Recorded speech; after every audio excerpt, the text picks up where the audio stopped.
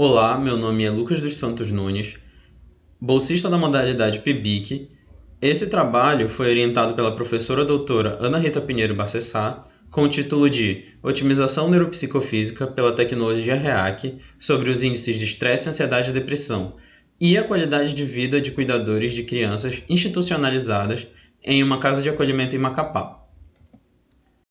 A longa jornada de trabalho, junto aos baixos salários e a alta carga horária, são fatores que influenciam no desenvolvimento de sintomas psicopatológicos nos cuidadores de crianças, principalmente por conta do esgotamento físico.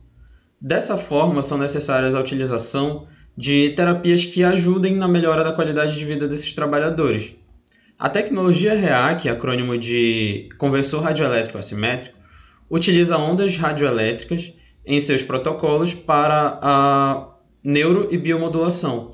Dessa forma, otimizando as respostas motora e neuropsicofísica do organismo, possuindo assim efeitos físicos e neuropsíquicos positivos para quadros de estresse, ansiedade e depressão. O objetivo geral foi avaliar os índices de estresse, ansiedade e depressão em cuidadores de crianças em vulnerabilidade social, como objetivos específicos, tivemos identificar os índices de depressão, estresse e ansiedade nos cuidadores, caracterizar a dismetria funcional no protocolo de base de otimização neuropostural, ONP, identificar desvios de posicionamento lingual associados ao estresse e identificar e catalogar os efeitos da terapia REAC relatados pelos próprios participantes.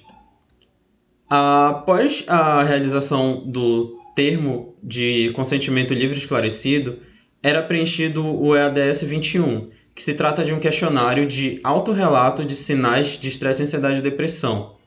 Logo, era verificada a dismetria funcional pelo alinhamento patelar, como na figura 2 observamos em A a verificação da dismetria funcional, em B a realização do protocolo ONP e em C observamos a nova dismetria funcional.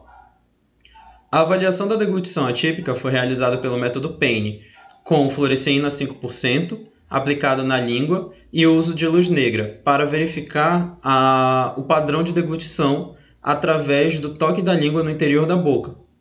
Posteriormente, foi realizado o protocolo REAC-ONP com uma única aplicação e imediatamente após era novamente verificada a dismetria funcional.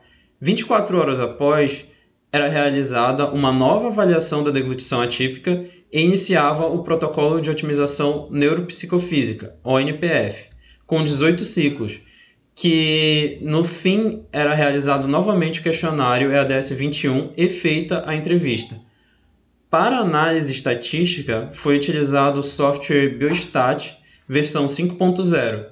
Foi utilizado o teste T para os dados paramétricos e o teste Wilkinson para os dados não paramétricos. Para a dismetria funcional, é, foi observada diferença estatística significante comparando o antes e o depois de todos os participantes, como podemos observar na tabela 1, onde quase todos os participantes obtiveram resultado final pós-ONP obtido de dismetria funcional 0 centímetros, em estudos anteriores, o protocolo ANP também destacou a redução do, do gasto excessivo de energia em algumas áreas cerebrais para a realização de pequenas atividades, o que otimizou o funcionamento do organismo. A comparação dos clusters pré e pós-ciclo de ONPF obteve diferença estatística significante para os dados de estresse e ansiedade, Assim como no estudo de Rinaldi, que foi realizado com N de 150 participantes, houve a redução também desses mesmos, desses mesmos marcadores.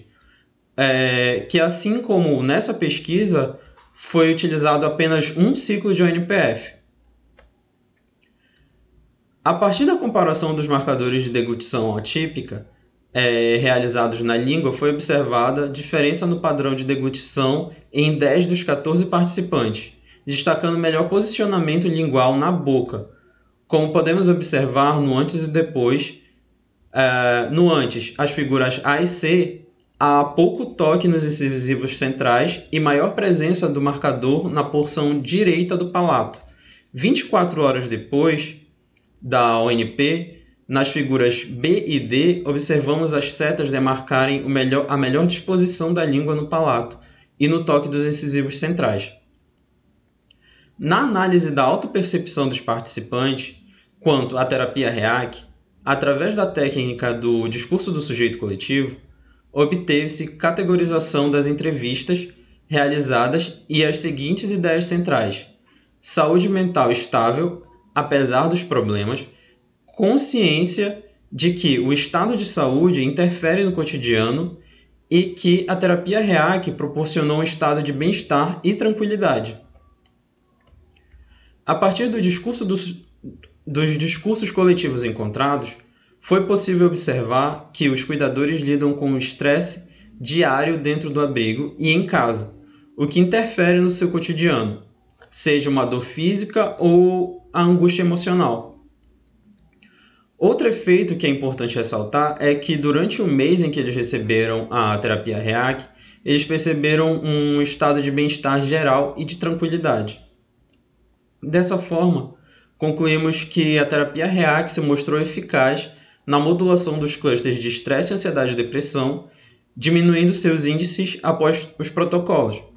Além disso, foi capaz também de influenciar fatores relacionados ao aspecto social e emocional, apresentando um efeito sistêmico, o que colabora para a otimização da qualidade de vida dos trabalhadores avaliados.